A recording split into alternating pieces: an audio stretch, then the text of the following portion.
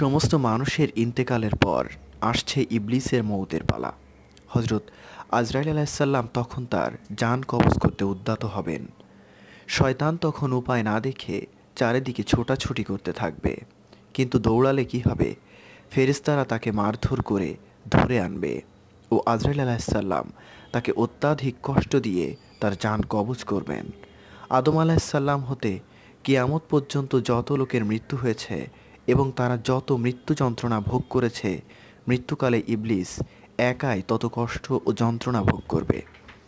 ইসরাফিল আলাহিসাল্লামের সিংগায় ফু দেওয়া হতে দীর্ঘ ছয় মাস পর্যন্ত উহা অবরিত চলতে থাকবে। এর ফলে আকাশ, চন্দ্র, সূর্য, তারকা কিছুই অবশিষ্ট থাকবে না। পাহাড়, পর্বত, সাগর, মহাসাগর ইত্যাদি সব কিছুই ধ্বংসপ্রাপ্ত হবে। এমনকি ফেরেস্তাগণও মারা যাবে। তবে আটটি জিনিস কখনো ধ্বংস হবে না। আরস কুরসি, বেহেস্ত, ইসরাফিলের সিঙ্গা দোজক, রুহ। রুহ ধ্বংস হবে না, সত্য। কিন্তু উহা অচৈতন্য হয়ে পড়বে। কারও মতে উল্লেখিত আটটি বস্তু কিছুক্ষণের জন্য ধ্বংস হবে। মোট কথা, যখন সমস্ত জিনিস ধ্বংস হবার পর একমাত্র আল্লাহ তালা ব্যতীত আর কিছুই থাকবে না। তখন তিনি একা একাই বলবেন, কোথায় সেই রাজা? কেই বা তার প্রজা? কার জন্য আজিকার এই রাজত্ব? অতপর তিনিই আবার বলবেন, আমিই রাজা, বাদশার বাদশাহ, আজ আমি উহার একচ্ছত্র অধিপতি। আমি ব্যতীত আর কেহ নাই। অতপর এক নির্দিষ্ট কাল পর্যন্ত একমাত্র আল্লাহ তালাই অবশিষ্ট থাকবেন। এরপর ধ্বংসপ্রাপ্ত বস্তুসমূহ পুনঃসৃষ্টি হবে। আসমান, জমিন ফেরেস্তা সবই বিদ্যমান।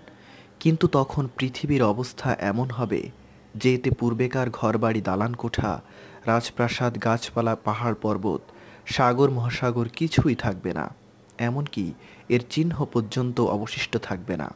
ইহার পর আল্লাহ তাআলা যাকে যেখান থেকে উথিত করা প্রয়োজন মনে করবেন, সেখানে তার অস্থিমদ হাড় সৃষ্টি করত এর সহিত একত্র করবেন। অঙ্গ প্রত্যঙ্গ জোড়া দেওয়ার পর এতে গোস্ত ও চামড়া মিলিত করে প্রত্যেককে তাদের স্বশা আকৃতি দান করবেন।